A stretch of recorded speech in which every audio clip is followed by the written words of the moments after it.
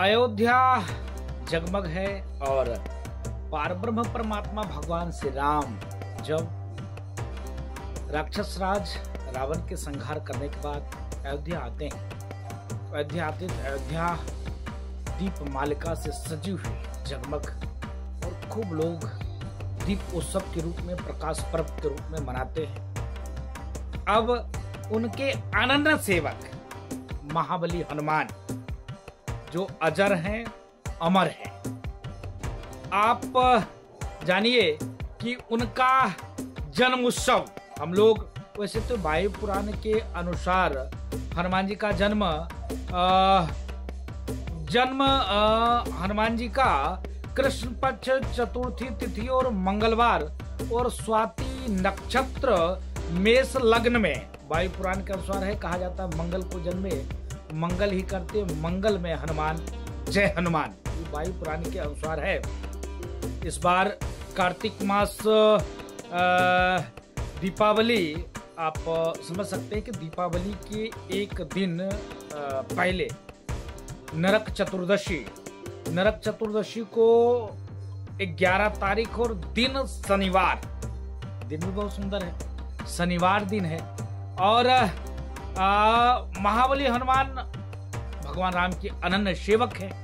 तो अनन्य सेवक होने के नाते आ, सदैव राम रसिया रहते हैं।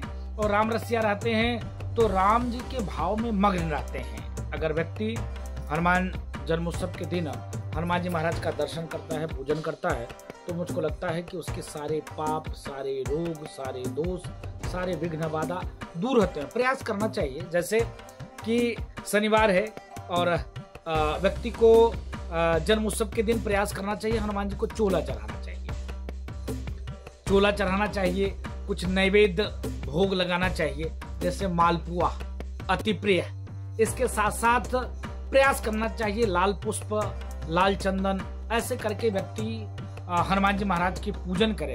तो ऐसे करके जब वो हनुमान जी महाराज का पूजन करेगा तो मुझको लगता है कि उसके जो भी आ, मन में भाव रहेगा जो उनके मन में इच्छा रहेगी, जो उनके मन में जिज्ञासा रहेगी, वो हनुमान जी महाराज पूरा करेंगे।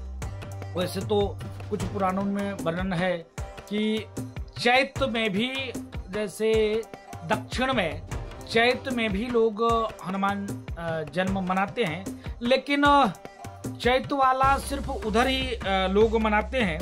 लेकिन ये जो कार्तिक मास में है, यह पूरे देश में मनाया जाता है। तो हम लोग आज हनुमान जी महाराज का जन्म उत्सव मना रहे हैं और हनुमान जी महाराज का जन्मोत्सव है और हम मंगल कामना करते हैं देश और दुनिया में रहने वाले सभी सनातनी से कि जहाँ पर भी हनुमान जी का मंदिर है, वहाँ ज़रूर जाइए, मत्था टेकिए और हनुमान जी अजर अमर है।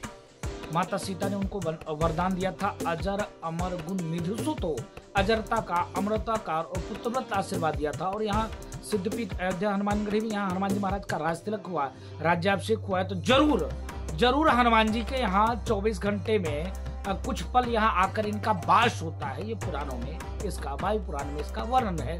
तो इसलिए हम मंगल कामना करते हैं सभी राम भक्तों से, क्योंकि हनुमान जी राम रसिया है तो प्रयास करना चाहिए भक्तों को कि भगवान राम के चरण में भगवान राम का जो है मूर्ति ऊपर हो, हनुमान जी के चरण में हो। कहा जाता है राम द्वारे तुम रखवारे हो तो नाज्ञा बिन पैसारे तो हनुमान जी की इच्छा का राम जी का आशीर्वाद मिलना संभव नहीं है। तो हनुमान जी के जन्म उत्सव की ढेर सारी मंगल कामना और ढेर सारा स्नेह ढेर सारा आशीर्वाद। आप ज़रूर आइए हनुमानगढ़ी, दर्शन करिए और अपने जीवन को धन्य करिए।